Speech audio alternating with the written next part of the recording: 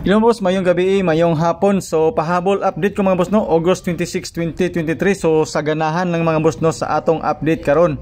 So slide mga boss no ang number nga ako ang gi-share ganina sa atong FB page. So unta makadaw ta karon pang alas 9. So shout out sa ta mga boss no, gikan ni sa to ang YouTube channel, gikan ko no siya pang Bantayan Island. So shout out si mo.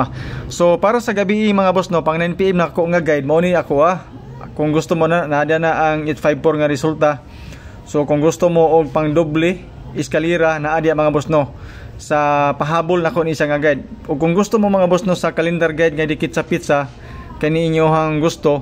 So okay gyapon ang mga boss no kay nakuha na to ang resulta diya nga 830. So kung single digit mga boss no 538 akong kan pahabol. Kung ganahan mo og single digit dayon kung ganahan mo og doble mga boss no naapog ko pang doble nga kombinasyon especially kay Domingo man ug mga adlaw So na ako'y pang doble nga ihatag sa inyo mga boss no. Kamo na bahala kung tayan ninyo or dili. Okay?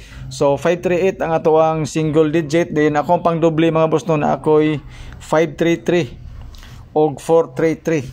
So kung dili ka ganahan og single digit, birada ka og doble mga boss no kay Domingo ugma kasagara pag Domingo mag ana doble. So disclaimer ha kaning ato ang guide ra gini siya, update ra ni so dili ni siya sure win, dili ni siya sure number. Kung ganahan mo ani nga number mga boss testingilan ninyo.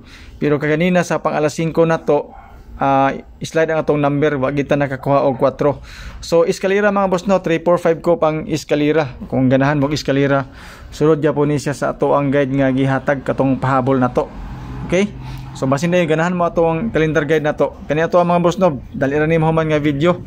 So usually mga boss no, kay isa ra ko mag video ta. So ganahan kog update karon. So napo ko ihatag sa inyong mga number kaninyo nakita.